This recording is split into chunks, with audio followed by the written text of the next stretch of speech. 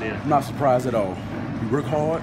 Um, we do a good job all week preparing for these guys. You know, I'm not surprised, man. You need the guys in there. My teammates. You're not surprised at all. You know, this this is supposed to play just like this. It's like supposed to play Colonel football. You know? Are you surprised at the popularity of Last Chance U and how, how, how much of a celebrity have you become in the last month with that thing um, on Netflix? Last Chance U really, you know, made a big impact on myself.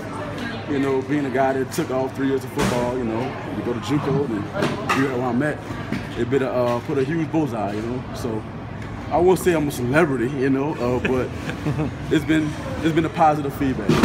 Marcel, you said you're not surprised at all. I mean, was it stuff you guys saw on film that you said, all right, we can beat them up front? Our coaches did a very good job, uh, offense and defense, breaking down the film.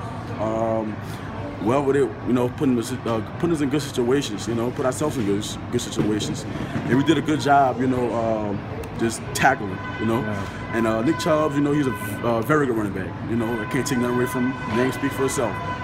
Well, I think we did a very good job as a unit, you know, putting the hat on.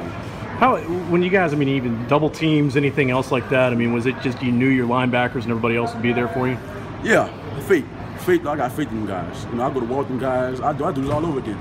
I do it. I, I keep doing it. You know, because I got faith in my teammates that they will make a play. You know.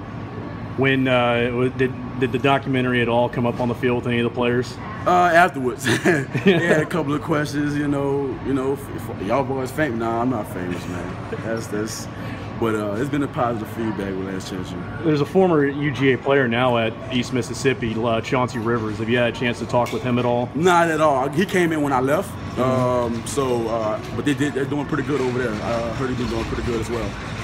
What does it feel like to stand up Nick Chubb on third and short? Not many uh, people can do that successfully, and you did it. Yeah, but at the same time, you know, I work hard. You know, we work hard. You know, team work hard. So I'm not surprised, you know, and, and, none of that. You know, we're just doing our job, you know. He, he's tough, but at the same time, he, was coming with it too. How accurate was last chance U?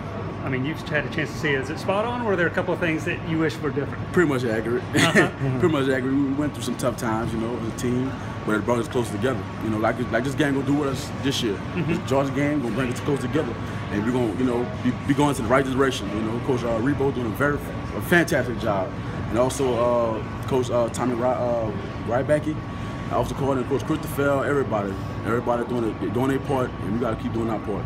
When when did you guys start gaining confidence of we're gonna go toe to toe with these guys? We gained confidence when we saw it on the schedule.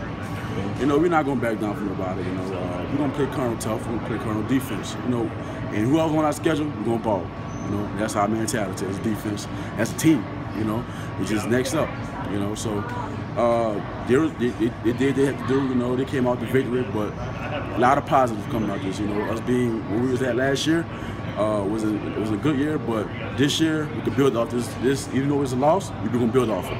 Your former academic advisor at East Mississippi might be watching this. Anything you want to say to her? Love you, Brittany. Thank you for everything. Thank you for everything. You're the best. All right, appreciate it. Marcel. Appreciate it. Thank you.